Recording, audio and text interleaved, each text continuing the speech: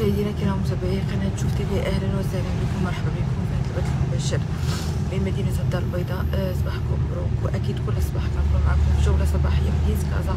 كنلقي لكم الأجواء كيف دايرة وكيف ما كتشاهدوا معنا مشاهدينا. هذه هي الأجواء ديال الصباح.